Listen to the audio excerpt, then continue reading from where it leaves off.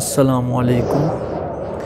آج ہم جو ہے وہ نتھیا گلی آئے ہیں اور آج ہم آپ کو بتائیں گے پائپ لائن ٹریک کے بارے میں، جو کہ ڈونگا گلی سے ایوبیا کی طرف جاتا ہے۔ پائپ لائن ٹریک کی جو لمبائی ہے وہ ڈونگا گلی سے ایوبیا چار کلومیٹر ہے اور چالیس سے پچاس منٹ جو ہے وہ آپ کے لگتے ہیں اس ٹریک پہ چلتے ہوئے۔ دوسری سائڈ سے اگر بائی روڈ آپ دیکھیں تو سولہ کلومیٹر لمبائی بنتی ہے۔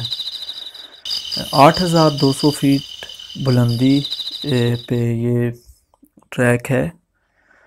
اور اس ٹریک پہ مختلف قسم کے آپ کو برٹش ریجمنٹ جو ان کی رجیم تھی، برٹش رول کے دوران اس کے بیجز نظر آئیں گے۔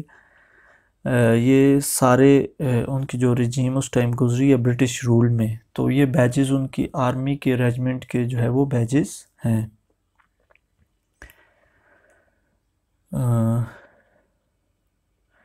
آپ دیکھ سکتے ہیں کہ مختلف قسم کے بیجز ہیں، جو کہ پائپ لائن ٹریک پہ آپ کو مختلف جگہ پہ نظر آئیں گے۔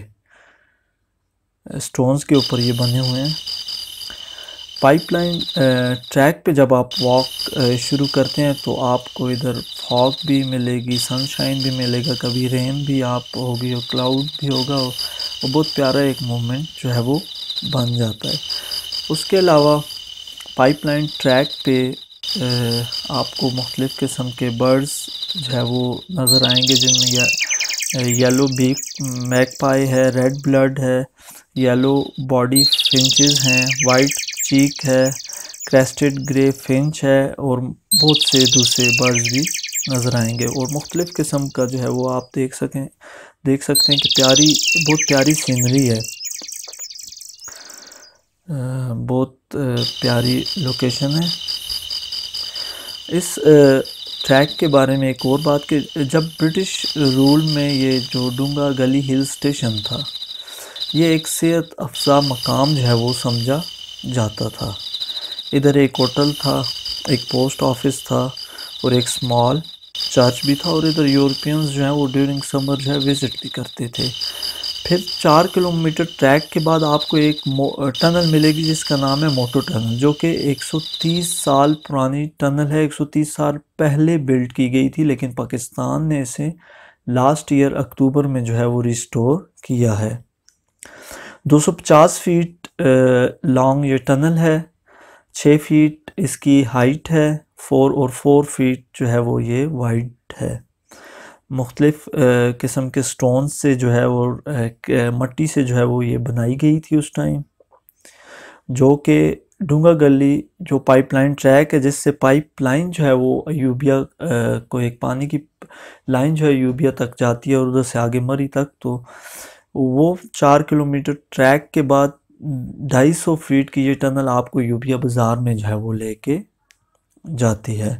اور بہت پیاری ٹنل ہے آپ جب بھی وزٹ کریں ٹھیک ہے اس کا نام موٹو ٹنل ہے جو کہ نائنٹین سکسٹی ون میں بلڈ کی گئی تھی۔ اور آپ کو یوبیا بازار میں جو ہے یہ ٹریک کے بعد لے کے جائے گی۔ ساحل پہ کھڑے۔ ہو تمہیں کیا غم چلے جانا؟ ٹریک پہ چلنے کے بعد اور ٹنل سے باہر نکلنے کے بعد شام کے ٹائم ہم نے باربیکیو کیا۔ باربیکیو میں سات سانگز وغیرہ بھی گائے گئے اور باربیکیو کا جو ہے وہ مزہ لیا گیا۔ آپ بھی جب بھی پلان کریں تو ایسا پلان کریں کہ بہت اچھا آپ کا پروگرام ہو جائے تاکہ آپ واک بھی کریں، واک کرنے کے بعد جو ہے وہ آپ باربیکیو وغیرہ کریں کھانا کھائیں ادھر کہیں۔ بہت پیاری جگہ ہے جدھر آپ باربیکیو کر سکتے ہیں۔ تو یہ باربیکیو آپ دیکھ سکتے ہیں کہ کیسے ہم نے جو ہے وہ ارینجمنٹ اس کی کی تھی۔